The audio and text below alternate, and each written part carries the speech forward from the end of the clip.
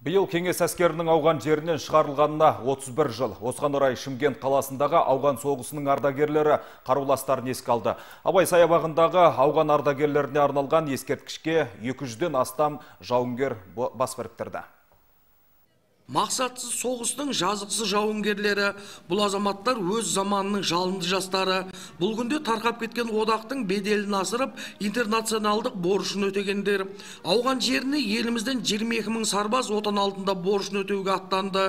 Оның 726-сы елге темір табытпен оралды. Қаншама боздақтарымыз сол ауған жерінде ерлікпен қаза тапты. Соның қазір мынау тақтайшасының басында ескерткіштің басында міне гүл шоғын қойып соларға тағзым етіп жатыр біздің жігіттер әр жылы осы өзінің қарулас достарын еш уақытта ұмытпайды. 1979-1989 жылдар аралығында оңтүстік өңірден ауған жеріне 2286 сарбаз аттаныпты.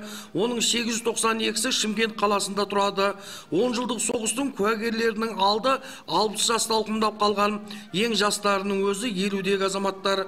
Арасында түрлі топтағы мүгедектер де бар. Алайда олар өз қиындықтарын өзі жеңіп үйренген. 1979 жылы ауған жеріне ең бірінші кірген азаматтардың біріміз шымкент қаласынан жетпіс шақты бала кіргенбіз біз. Сол жылы жетпіс тоғызыншы жылы. Міне біздің енді шыққанымызға қырық бір жыл болды бұл отыз бір болса.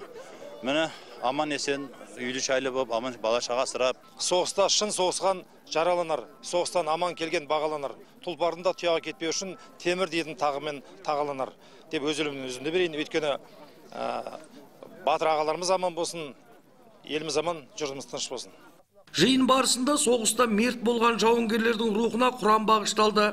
Ескерткішке гүл шоқтары қойылып, естелік тілектер айтылды.